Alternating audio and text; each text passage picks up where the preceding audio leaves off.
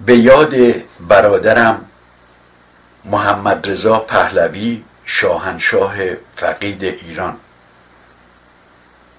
پنجم امرداد ماه سال 1392 سی و سومین سال درگذشت برادر دلبندم محمد رضا پهلوی شاهنشاه فقید ایران است. بیست و دو ساله بود که در بیست و شش شهریور 1320 روزی که سربازان مهاجم متفقین وارد تهران شدند سوگند پادشاهی ادا کرد.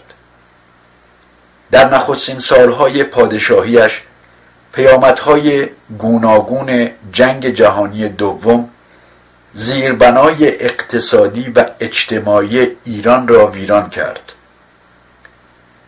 دولت روسیه شوروی حزب کمونیست توده را مانند ابزاری نیرومند برای رسیدن به اهداف سیاسیش در ایران پایه گذاشت. کوشید آذربایجان و کردستان را از میهن عزیزمان جدا کند و سپس معیوس از تحقق این سودای شوم خروج ارتش سرخ از ایران را منوط به دریافت امتیاز بهره برداری از نفت شمال کرد.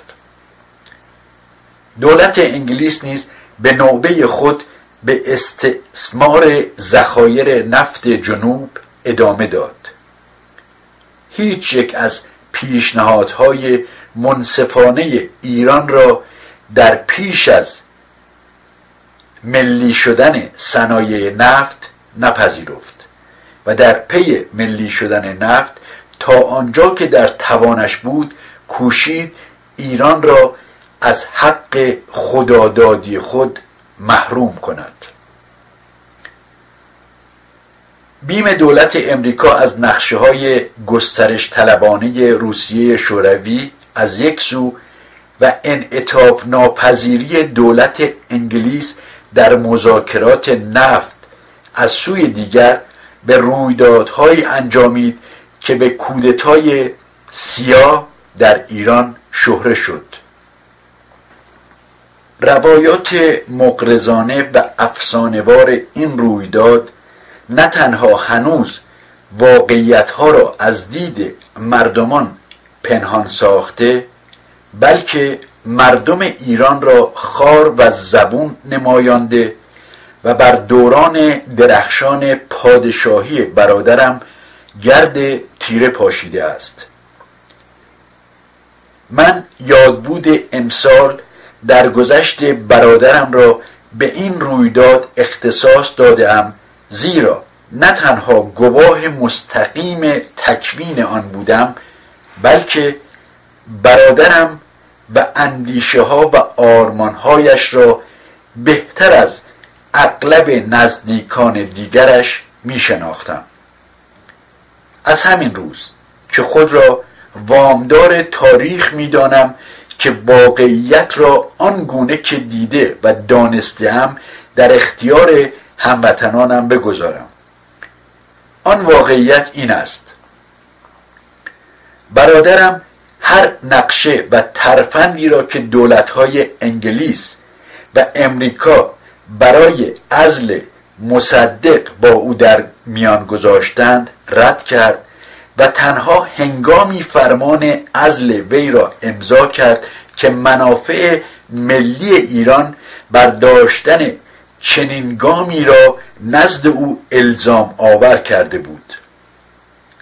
من نخستین فردی بودم که توتگران برای برقراری ارتباط با شاه با او تماس گرفتند.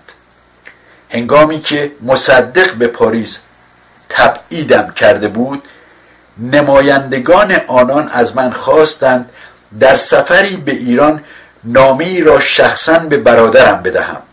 اما او نه تنها از دیدنم سرباز زد بلکه فرمانم داد تا ایران را ترک کنم زیرا نمی‌خواست دستور نخست وزیرش را نادیده بگیرد.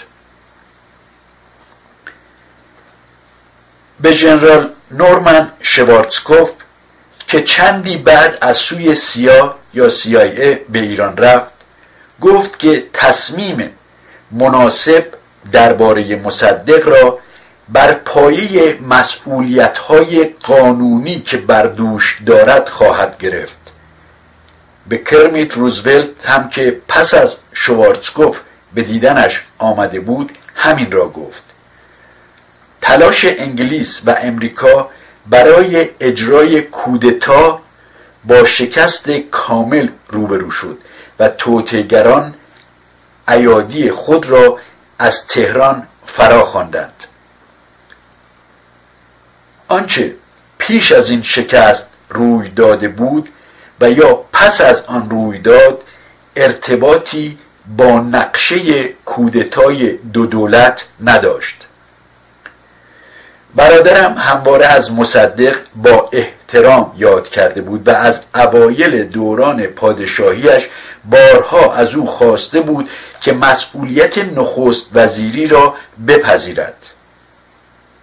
به ترغیب او بود که نمایندگان مجلس شانزدهم به مصدق رأی اعتماد دادند. برادرم همواره در برابر نمایندگان امریکا و انگلیس که از انعطاف ناپذیری مصدق هنگام گفتگوها درباره ملی شدن صنعت نفت خورده می گرفتند از او دفاع می کرد و ایرانیانی را که به تدریج نگران آینده میهن خود شده بودند از مخالفت علنی با او برحضر می داشت با این همه برادرم به آشفتگی اوضاع اقتصادی کشور و توانایی های روزافزون حزب توده آگاهی داشت. وی می‌دانست که باورهای مصدق درباره تاریخ روابط امریکا و انگلیس یکسره خوشبینانه است و آگاهی اندکش درباره صنعت نفت و پیچیدگی روابط شرکت های بزرگ نفتی جهان واقعیتی انکارناپذیر. تمایل دیرینه مصدق بر برانگیختن احساسات عوام و تبعیت از آن نیز بر کمتر کسی پوشیده مانده بود. با توجه به این شرایط برون شدن از این بنبست حاصل از این گونه خطاها و کاستیها ندشوار که محال می نمود به ویژه که مصدق آماده نبود به ناتوانی خود به حل مشکلاتی که کشور را با مخاطرات بزرگ روبرو کرده بود اعتراف کند. سرانجام او هشدارهای برخی از مشاوران نزدیکش را نیز نادیده گرفت و با انجام یک همه پرسی بی سابقه و فراقانونی حکم به انحلال مجلسی داد که در زمان صدارتش انتخاب شده بود و اکنون اکثر نمایندگانش آماده سلب اعتماد از کابینه او شده بودند. برادرم هنگام رسیدن به مقام پادشاهی سوگند خورده بود که حفظ استقلال و تمامیت ارزی ایران را تعهد و وظیفه محوری خود بداند. بر اساس آن سوگند و با تکیه بر اصل 46 قانون اساسی که ازل و نسب وزرا را از جمله اختیارات شاه می‌دانست او فرمان ازل مصدق را صادر کرد. مصدق نه تنها خبر فرمان ازلش را که در پی اعلام انحلال مجلس صادر شده بود پنهان نگه داشت بلکه گارد شاهنشاهی را متهم به انجام کودتایی بیفرجام کرد. برادرم برای پیشگیری از رویدادهای خونین کشور را ترک کرد. در سه روز پس از سفرش خیابانهای تهران در تصرف اعضا و هواداران حزب توده بود که سرانجام خواستار به بر برقراری یک نظام جمهوری خلقی در کشور شدند. مصدق انتظار چنین خواستی را نداشت. در پایان روز سوم نیروهای انتظامی به دستور مصدق به مقابله با تظاهر کنندگان برخواستند حزب توده در واکنش به سرکوب هوادارانش و برای دادن درسی به مصدق تظاهرات خیابانی را متوقف ساخت. صبح روز بعد 28 امرداد سال 1332 به تدریج تعداد هواداران شاه که در گروه های کوچک به خیابان های تهران سرازیر شده بودند افزایش یافت. پایان این روز روزی که در نبود حزب توده هیچ کس به هواداری از مصدق برنخواست پایان دولت مصدق نیز بود.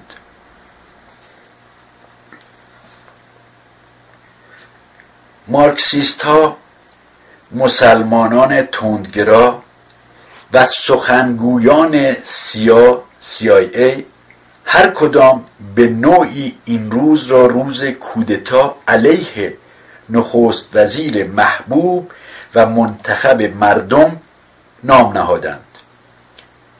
این ادعای نادرست و موزیانه به تدریج به شکافی شوم و بحرانزا در عرصه سیاسی میهن ما انجامید و در نهایت امر عاملی عمده در پیدایش و رشد اسلام سیاسی و رواج گفتمانی یکسره غرب ستیز در ایران شد.